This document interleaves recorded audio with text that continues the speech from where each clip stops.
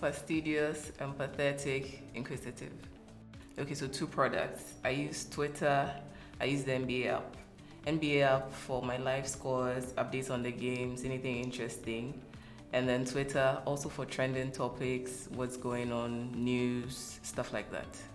Okay, so three things that inspire me athletes who play at the highest level. So, the kind of work that goes on behind the scenes before they step on the field or the court to do what they do, how they take care of their bodies, the discipline that they have to put into the work that they do. That inspires me. Artists also inspire me. So, anybody involved in any form of art, so from music to product making to architecture, interior design, movie making, production, all those things sort of inspire me. How they are able to put their ideas together and then the work that they put in to create something out of nothing that inspires me. And then the third thing will be entrepreneurs. So of every size. So from the small businesses to the bigger ones in this country, out of this country. I mean, stories like somebody selling pizza chips and then getting bought by PepsiCo for like 250 million. That's not something that you hear about every day, but those kind of things inspire me. Or people like my sisters doing side hustles, um, creating a business out of uh, making fascinators or what do you call it, uh, curating gift boxes, stuff like that inspire me. Or even places like here in Nsano. Yeah. A day in my life as product lead would be me coming in in the morning and checking my mails, checking my Skype, checking Teams for messages that I may have missed from the previous day. And then I go ahead and then have a meeting with the engineering lead to align on what it is that we did the previous day and what it is that we're supposed to do for the day. And then after that, um, we bring in the bigger team. Uh, we have a meeting, and then we align. Everybody knows what they're supposed to do. Um, my role makes me sit in between business, user experience, engineering. So usually I'll have a meeting with user experience or business to also pick some inputs from them or get reviews on what we've done. If it has to go back to the engineering team, I have to sort of document it, put it into some sort of requirements, and then take it back to them. Um, so it will be meetings like that, touching base with different people in the team to get feedback to inform what the next release is going to be or what the next iteration has to look like. And then after that, usually in the evenings, whatever it is that we planned for the day, I have to review it and make sure that it's been done according to specification and then um, it serves as input for the next day. Ideation, so when we are brainstorming, putting together ideas, um, creating concepts, creating new things out of nothing. I like that whole process. And then the research that goes into it. So learning new things, learning how things have been done elsewhere, what we can pick and apply. That's that's the part I like. In between, so the planning and then the building, not so much. But then when it comes together and then it's being reviewed and we are going through and then we see the fruit of everything that we've put together, I like that aspect as well. I don't think I'm there yet. Uh, I'm still looking forward to it, but I, I, I don't think I'm there yet. Digital Gold.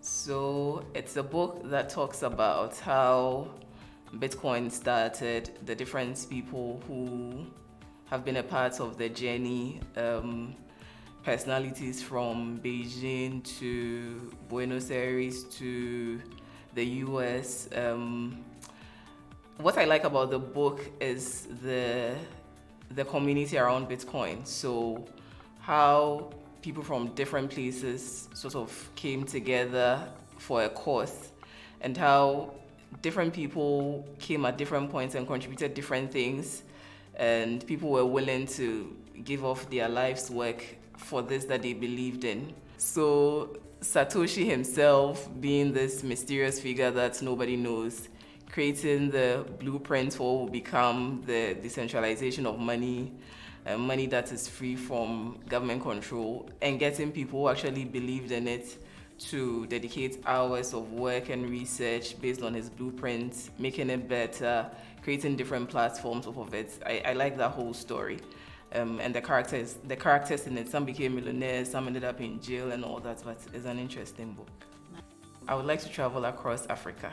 So from the north all the way down to the south, just to learn about the people, their culture, their food, their history, just to know more about them, um, immerse myself in their experiences. Yeah.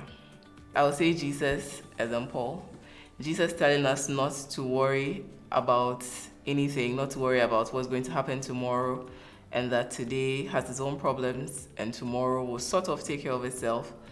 And then Paul also telling us not to be anxious and to present every need to God in prayer. No, easy. I'll travel the whole world.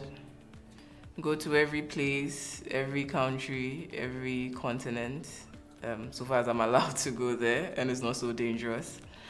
Um, interact with the people, learn about their culture, learn about history.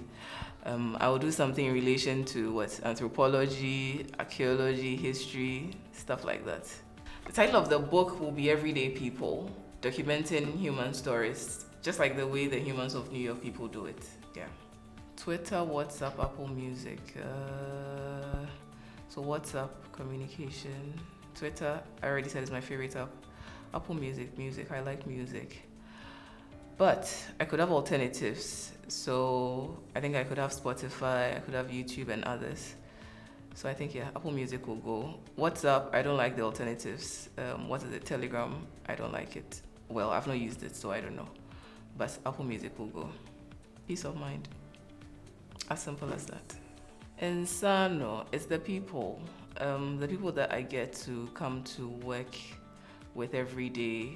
Um, yeah, we keep saying this young people, vibrant people but I see the amount of work that they put into the things that they do, and that inspires me. So that's what I love about working with Nsano. Young people taking on challenges head on, and then most of the time conquering them.